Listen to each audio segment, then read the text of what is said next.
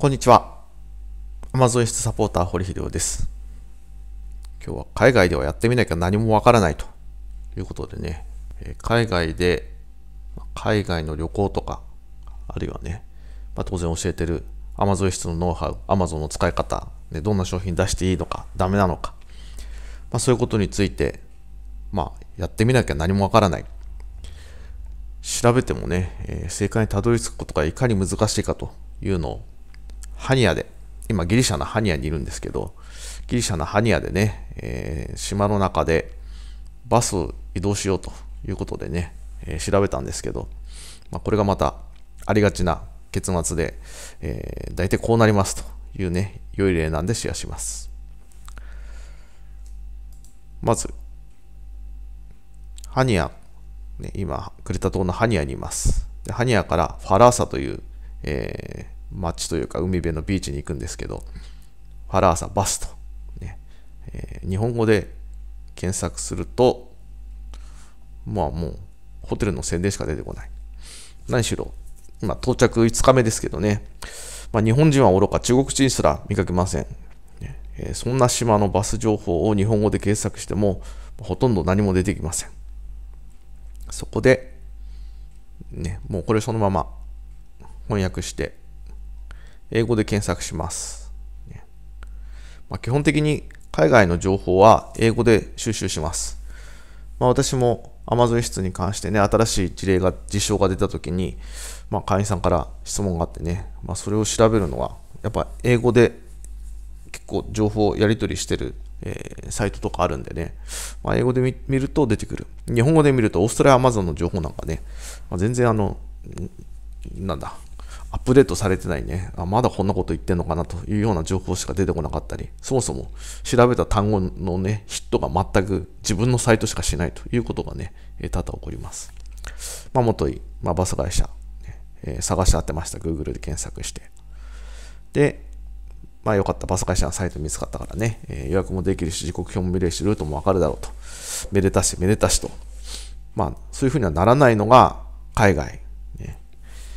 えーバス会社で、まあ、予約できるんだ。じゃあ予約しとこうかなと思って検索したらね、えーまず、この10時っていうふうに出てきてね、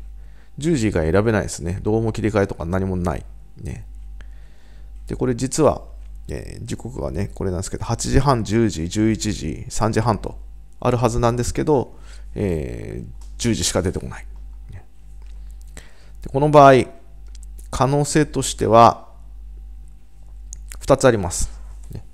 11時のバスがなぜかないと。ねえーまあ、これ7月十何日の最新の印刷物なんですけど、あのバスターミナルにあったね。なのになぜかない。ねえーまあ、利用者少ないから平日運休とか勝手にしてるのかなという可能性が一つあります。あともう一個は、ネットが下手で11時の便を出せない。ね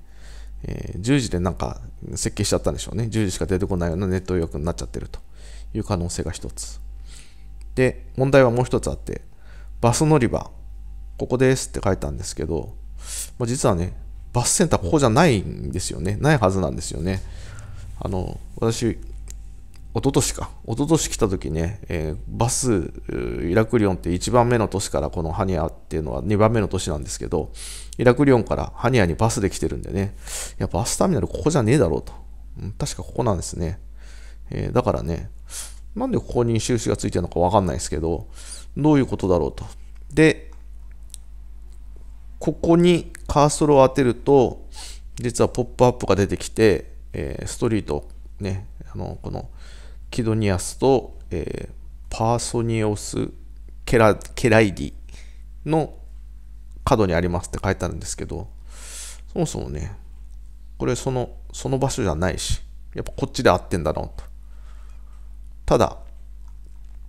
合ってると言ってもね、もしかしたらこのポップアップが間違ってる可能性すらある。ね。えー可能性3つあります。バス乗り場が移動した。ね。えーまあ、このバス乗り場が移動しちゃってるかもしれない。あるいは、私の目的地に行くのは、えー別なバス乗り場から出発する。ターミナルで全部出るんじゃなくてね、えー別なバス出発地がある。あるいは、ネットのポイントが間違えてる。この可能性が一番高いと思うんですけど、まあ、両方ともね、えー、バスセンターの窓口に行って、11時の便出てないのと、ね、それ乗りたいんだけどって確認する。で、できたチケット買っとく。で、これも一緒。バスセンターに行って、この行き先を見せてね、このこの行きはここから出るのかと。ね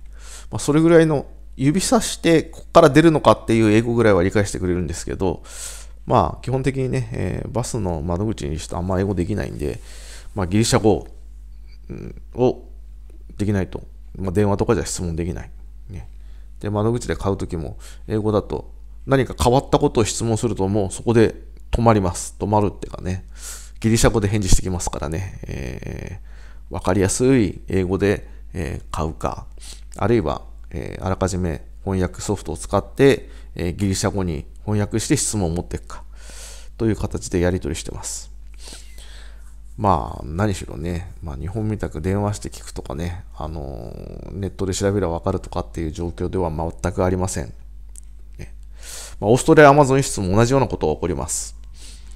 多くの会員さんをサポートして常にアップデートされている私の情報がないと稼ぐ前に脱落するでしょう。